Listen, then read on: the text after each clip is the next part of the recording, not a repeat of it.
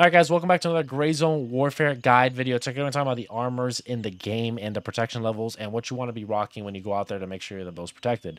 A couple things I want to go over are the protection level and then the plates where they're located at. So, the protection level is actually based off a real world system. Um, so, tier 3, tier 3A, you can tell those numbers right there are actually correlated to an IRL um, bullet penetration uh, for the vet, for the plates, excuse me. Sorry, brain's a little mush, we're a little tired. Um, so the ones I'll explain to you are tier 3A is actually below tier 3, and then tier 3 plus is above tier 3. So you have tier 3A, tier 3, and then tier 3 plus in that order, just like that. Um, as far as level 2 vendors, this is these are the armors you can buy right now. You cannot buy any tier 3 plus, but you might find some of that out in the wild in some chests or locked rooms. Um, so the the way it works is tier 3A will protect you from like 9 millimeter and some high velocity 45 caliber or 45 caliber bullets. Um, that'll protect you with tier 3A. You won't get protection from 556. With with tier 3, you get protection from 556, M855, 762 by 39, and then 762 by 51. So that's the difference in between tier 3A and tier 3. Tier 3 is going to be better protection overall to um, avoid getting shot and penetrated to your skin.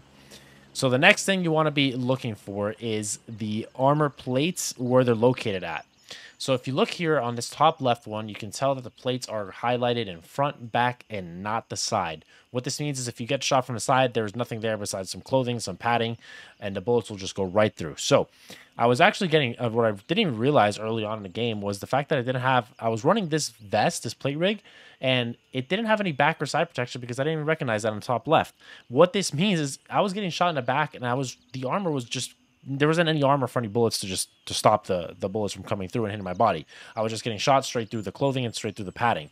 With these other armors, so for example, this one, these two you see here, especially the one on the left, the modular operator, you have front, back, and side. So you're completely covered, um, especially if the AI is all around you. You're not going to have to worry about any of the directional shots or where they're coming from. Unlike the one here, you don't have side armor, but you do have front and back plates, and it is tier 3. So technically a little bit better in protection level, but with the tier 3A, you have front, back, and side. So you kind of just need to pick whichever one you want to go with. You also have the vest here, but you'll also need a um, tac vest to put over and be able to take the pouches and the magazines because this doesn't have any slots, unlike the tac vests that do.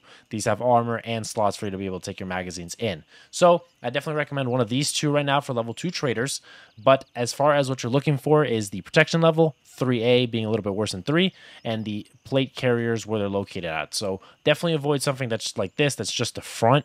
I don't know why you would want that, especially with the way AI can just sneak up behind you.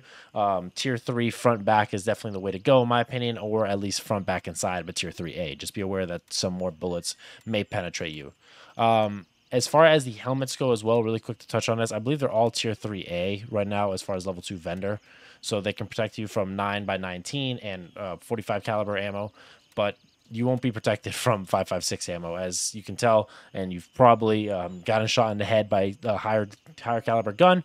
Um, this will actually just not be able to protect you. You might you know get lucky in a ricochet or something like that but it'll most of the time just kill you straight to the head. So that ultimately covers the armor right now in tier 2 traders and the armor in tier 1 traders that you can get in the game and what you need to be looking out for and hopefully prepare yourself before you go into the combat zone Hopefully this helped you out, guys. If it did, a like goes a super long way, and subbing to the channel just helps the growth. I mean, we've just been absolutely just blowing up over the last two days. It's been insane. If you want to show some love outside of YouTube, I'm also have my Twitch channel, twitch.tv slash one shot rich. And if you want to follow me over on twitter.com for more personal updates, twitter.com slash one shot rich. Appreciate you guys. I'll catch you all later. Peace.